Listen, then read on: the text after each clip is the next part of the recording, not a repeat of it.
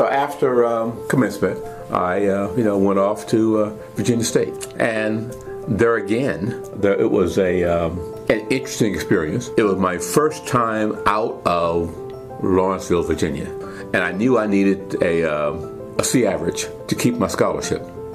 So my first year as a um, a student at Virginia State, I um, tried to make sure that there wasn't a party on campus that I didn't go to. I, I worked just hard enough to uh, to get my C average so that I could keep my scholarship. One of the uh, landmark experiences was that we had three faculty members at Virginia State at the time. Dr. Uh, T. Nelson Baker. Uh, I don't know where Dr. Baker got his PhD from but he was one of the few people back in those days who had a PhD in chemistry. Dr. Reuben R. McDaniel, who was a uh, mathematician, PhD from Cornell. In physics, we had Dr. Uh, John Hunter, PhD from MIT. And it turns out that Dr. Hunter was the third African American to get a PhD in physics except that at that time we didn't know that. But getting back to Dr. Baker, I had gone in to, uh, to see him because I had not been doing well in chemistry, and I knew I needed a, uh, a C average to keep my scholarship. So I walked into Dr. Baker and I said, Dr. Baker, uh,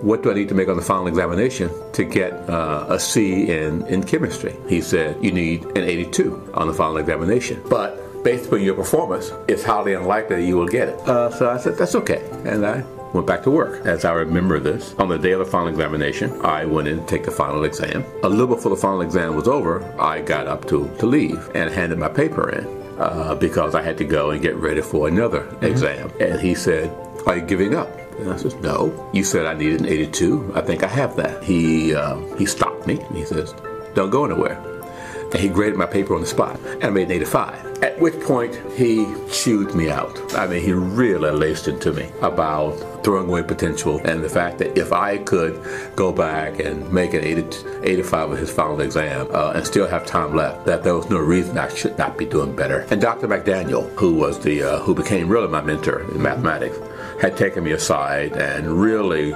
chewed me out because he felt that I was not uh, realizing my potential. And I was in one. I was in this this group of, of quote honor students that we would meet every now and then, and I was doing the worst of all the honor students, but.